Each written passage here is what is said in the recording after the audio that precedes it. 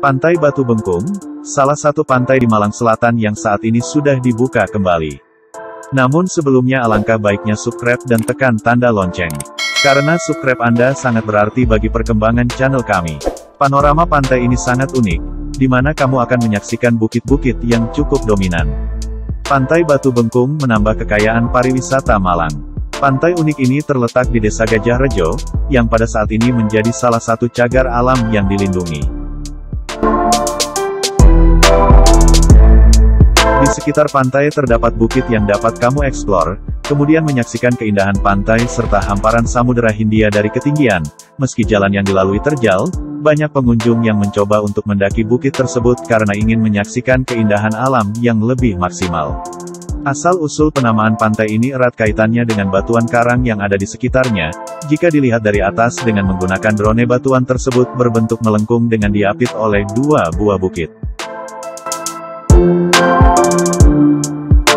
Ada yang bilang bentuknya seperti seorang wanita yang sedang menggunakan bengkung, yakni istilah lain untuk kain panjang semacam selendang yang biasa digunakan seorang wanita sehabis melahirkan, yang pasti jika dilihat dari ketinggian, bentuknya memang sangat unik dan indah sekali.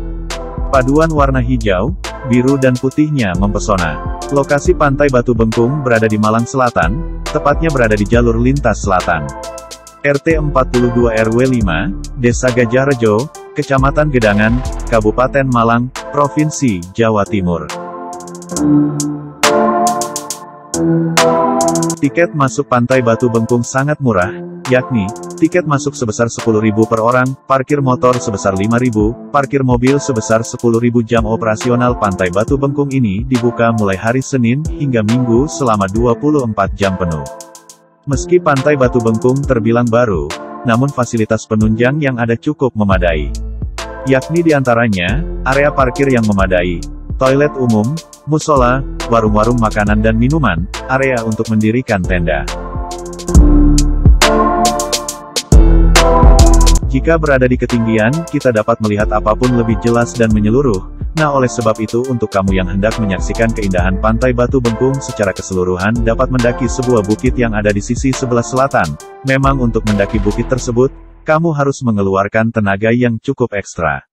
Karena akses jalannya sangat sempit juga curam, sehingga harus sangat berhati-hati dan waspada. Jangan sampai keseruan menyaksikan panorama alam yang indah berakhir dengan keharuan. Dari atas bukit akan tergambar dengan jelas, birunya Samudera Hindia, batu karang yang melengkung di mana seakan menjadi pembatas antara daratan dan lautan, kolam alami yang memanjang di antara batu karang dan pasir, serta hamparan pasirnya yang berwarna putih. Dengan keindahan yang seperti itu maka tak heran jika banyak pengunjung yang rela bersusah payah untuk mendaki ke atas bukitnya. Daya tarik yang paling unik ialah adanya sebuah kolam dengan bentuk memanjang, yang berada di antara batuan karang yang cukup tinggi serta hamparan pasirnya. Kolam tersebut sering digunakan pengunjung untuk bermain air atau bahkan mandi, Kedalamannya cukup beragam sehingga sebaiknya berhati-hati ketika berada di kolam tersebut apalagi untuk anak-anak.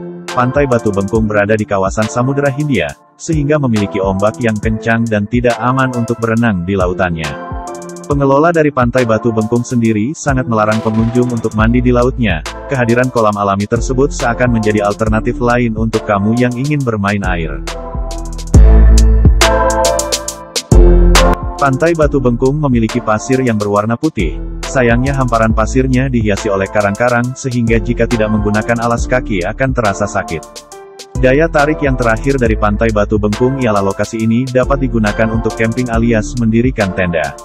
Terdapat beberapa spot untuk mendirikan tenda, kamu tinggal pilih ingin menikmati panorama alam yang mana. Camping atau berkemah di pantai memang berbeda vibe-nya ketika camping di puncak gunung.